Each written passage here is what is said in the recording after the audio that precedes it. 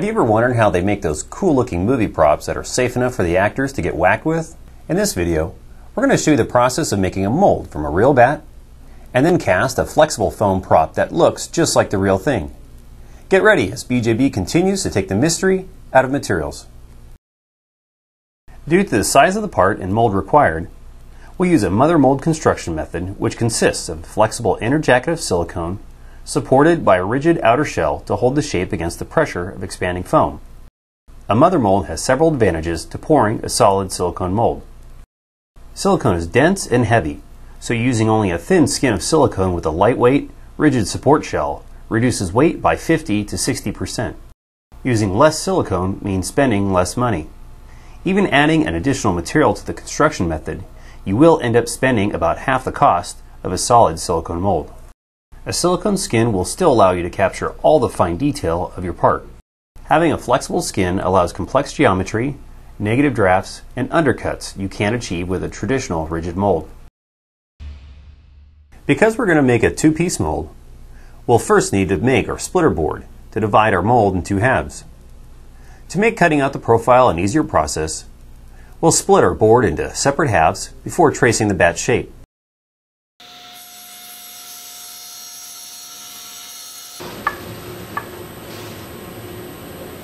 With the boards taped together, we center the bat in the space.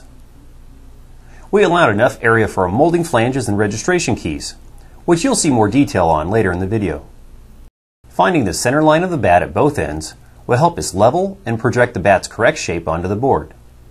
Our modeling clay holds the bat in place at the proper height for the next step. Begin tracing the profile of the bat onto the board. A square can assist plotting accurate marks. We then use a pencil to carefully outline the shape, using the previous marks as a helpful guide. Being accurate here will save a lot of filing and sanding effort later, so take your time. When finished, remove the tape and it's time to cut out the profile.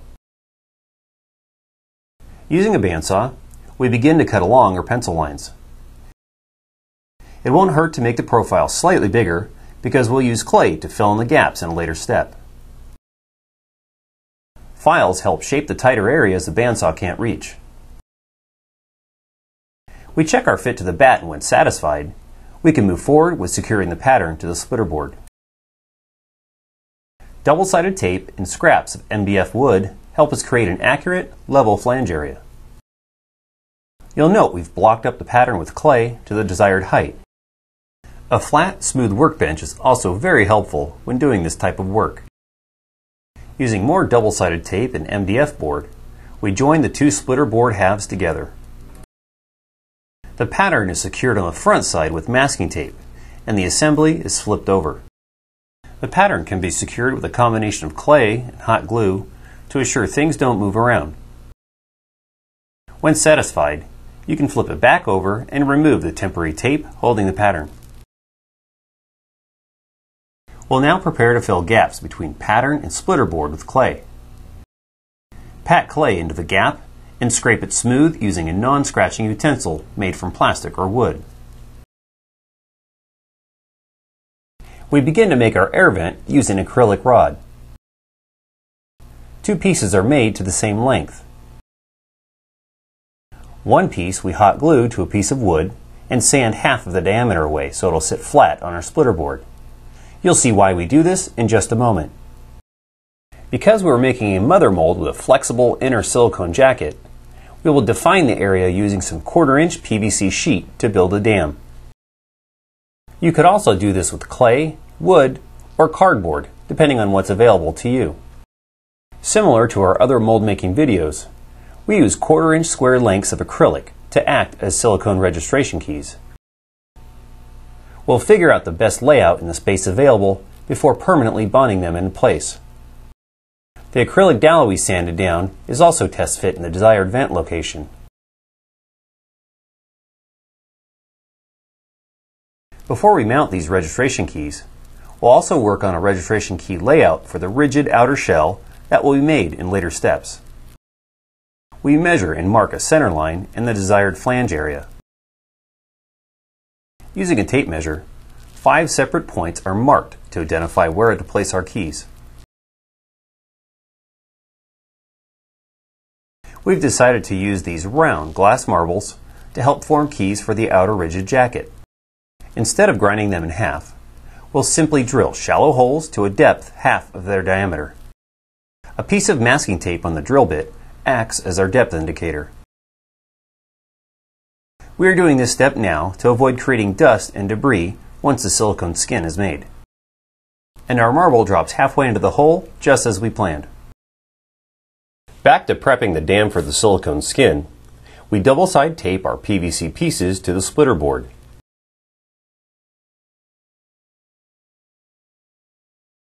Once the dam is in place, we'll begin bonding down the acrylic registration keys. Small drops of superglue are placed on the bottom of the keys and set in place. The process continues for the rest of the registration keys. The sanded down dowel vent is bonded into place as well. We're now ready for the next process. Before the silicone is applied, we'll spray a thin film of appropriate mold release to the pattern surface. Silicone won't bond to these surfaces, but the release will make things part easier and any texture from the spray release will be consistent on both mold halves. We'll begin to measure and mix up a batch of silicone for a flexible inner mold skin. As explained in our other mold making videos, we use the double cup mix method to ensure a proper mix of silicone. A streak of unmixed silicone in our first layers would be a disaster for our mold, so keep that in mind. Once fully mixed, we place our silicone into the vacuum chamber and remove trapped air bubbles. We want to minimize the chance of bubbles on our first layer. A thin layer of silicone is poured over the surface of the pattern and flange area. A small brush is used to spread the silicone across the surfaces and form an even coating. Brushing slowly and firmly across the areas will help dislodge any trapped air in the sharp corners. Once finished, we cover the pattern to prevent dust from settling on our wet silicone. After waiting for the silicone to gel, we test to see if the surface is tacky but won't show a fingerprint. We then apply another thin film of silicone to build an additional layer and capture detail on the pattern. For the third and final layer, we'll use a liquid silicone thickening agent to increase the viscosity of the silicone and allow us to build much thicker layers. Only a very small amount is needed to be effective, so don't overdo it. Within a few seconds of mixing, the silicone turns from a pourable liquid into a paste-like consistency. We'll apply a thinner layer of thickened silicone first to avoid trapping air and build thicker layers from there. We smooth out the brush strokes with a flat spatula to achieve a smoother overall top surface. Next, we'll begin to prepare our locking registration keys that will keep the flexible inner skin mechanically locked to the rigid outer shell. These simple but effective keys are made by gluing our glass marbles to a thick metal washer we want to form a flexible, snap-fit interface of silicone to the rigid backing so the inner skin cannot slump or move around due to its flexibility. Additional silicone is applied to the top surface and keys. Several will be placed along the top ridge of the mold and along the side flanges. Once again, surfaces are smoothed to avoid having an irregular interface with the rigid shell backing. After the silicone is cured, we can clean up any surrounding surfaces. Remove all the snap fit keys and trim any excess silicone protruding above the flat surfaces. The PVC dams can now be removed, revealing the splitter board details needed in the next steps. Insert a small amount of clay into the pre-drilled holes and press a marble firmly into the cavity. Excess clay can be removed or shaped around the base of the marble to form a smooth transition. Complete this process for the other marble keys. We've decided to reuse our PVC dams on the edge of the tool for the next process of making the rigid support shell. You'll notice we're purposely stopping the mold edge at the end of the vent hole, hot gluing a PVC dam in place. To secure and seal the dams to prevent any leakage, we apply a bead of hot glue around the perimeter. Now we need to apply our mold release. Manually brushing release into the deep registration keys ensures good coverage where spraying can't reach. All other surfaces can be sprayed. Be sure to achieve good coverage on the flange area to avoid sticking. Time to mix our rigid shell support material. BR75D is a rigid, high impact resistant polyurethane that, when mixed, forms a creamy, brushable material. The holes for registration keys are carefully filled with BR75D first to avoid trapping pockets of air. The remainder of mixed material is then applied to the surface. Using a brush, BR75D is evenly spread across the surface. There is enough working time to ensure even coverage, but BR75D cures fast enough to help speed things along. In our next batch of BR75D, we add blue pigment to help visualize layer coverage and thickness. Plus, it makes your tool look pretty cool too. To achieve the best bond, we want to apply this layer while the first is gelled but still slightly tacky. If you wait too long or overnight, you may need to scuff the surface with sandpaper for best results. After a few hours, you can remove the PVC dams.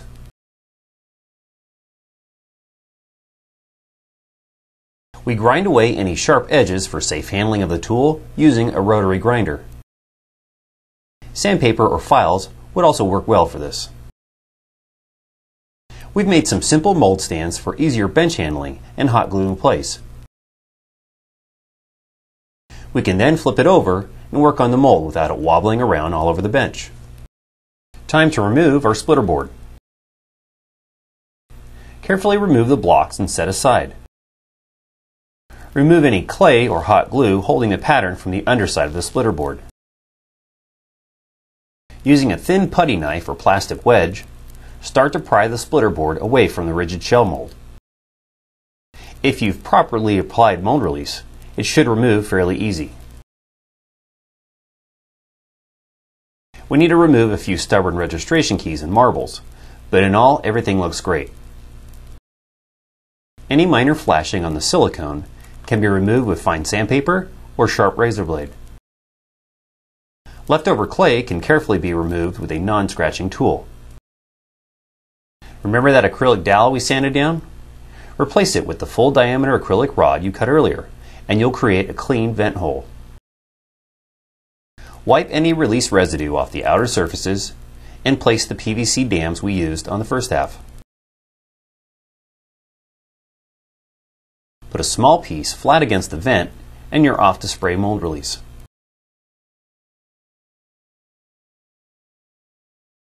Apply zip mold release in the deep registration channels to ensure coverage and spray a light, even coating across the surfaces. Remember, Silicone will stick to silicone, so be sure to coat the entire silicone surface. Repeat the same process as we did on the first mold half. Two thin coats of unthickened silicone to capture detail, allowing time for the silicone to gel and become tacky before applying the next coat. Finish it off with thickened silicone to build thicker layers. And lastly, Place the locking registration keys in their desired locations and smooth the surface for best results. Once the silicone cures, remove the keys, trim any protruding silicone, and peel off the PVC dams. Clean off any flashing with a sharp razor. Using the PVC dams, we hot glue them along the mold perimeter to prepare for the next step. Apply zip mold release to the silicone registration keys and spray the entire surface. Additional coats of release should be applied on the exposed rigid mold flange to prevent sticking. BR75D is mixed and applied to the second mold half. The second layer of BR75D is pigmented blue and applied over the surface. Once the BR75D cures, Remove the PVC dams. Remove sharp edges with the rotary tool. and begin to carefully pry the two mold halves apart. The silicone jacket is carefully peeled off of the pattern to reveal half of our mold surface. The pattern is then removed from the other mold half, and we have our completed mold. Before we can begin making parts, we want to prepare the mold surfaces with appropriate mold release. Because of the aggressive nature of urethane foam adhesion, the rigid mold flanges are first prepped with the paste wax to help seal the surface and prevent sticking.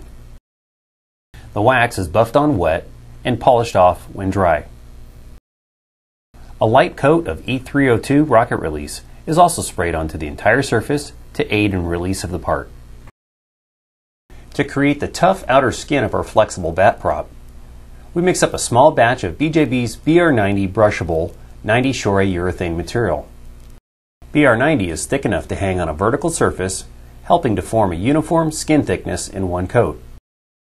We've added some white, burnt umber, and burnt sienna pigment to give us a warm base color in which to work from. Clean off any excess urethane and allow time to gel. To help hold the bat's shape, we'll use an armature made of a wood dowel. You could also use fiberglass or aluminum rods, depending on your application. To center the dowel in the mold, fishing string is used to hold it in midair and prevent it from moving around when the foam does its expansion. An extra set of hands is handy when doing this process. Adjust the dowel where you need it and get ready to mix foam. 275 grams of BJB's TC274 flexible foam is mixed for our bat. Once again, we've added some pigment to the foam for a consistent base color. Once mixed, we need to work fast because of the quick nature of expanding foam. A mold that is easy to close and clamp is essential for successful foam molding. Once securely clamped, we elevate the mold to direct any trapped air to the strategically placed vent. As mentioned in our video guide on foams, we want our foam tool to remain well sealed around the edges and let the vents do their job to control back pressure and produce consistent cell structure. The foam cures in about 20 minutes, so you can demold the part whenever you're sure the brush skin is also ready. Overall, this part looks great, but the extra foam flashing around the edges means we can back down on the quantity of foam poured into the mold. Silicone molds can only hold so much pressure before they begin to distort. Now, to clean up the part and prepare it for paint. Warm water and dish soap removes any mold release transferred to the part, ensuring better adhesion. Using a dry brush technique, we apply BJB's SC92 water-based flexible paint. We've pigmented it with burnt umber water-based pigment. You can use latex pigments and acrylic paint with SC92 for a variety of colors. Wet surfaces are blotted dry with a towel to soften and blend the faux wood finish. When finished, we have a very convincing looking wooden bat prop that fooled quite a few people around the shop. With a little patience and artistic talent, you can turn this piece from average looking to an outstanding cosplay weapon prop. Be sure to watch BJB's other great mold making videos, subscribe to our YouTube channel, visit our website to view our expansive product line, and thanks for watching.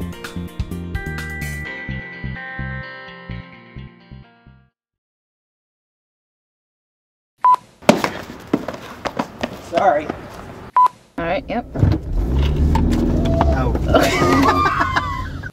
Do it! This is it? Is this? Am I okay? Am I have? Okay, yeah, I do have this. I just want to make this thing work. Okay, we're rolling. Mm-hmm.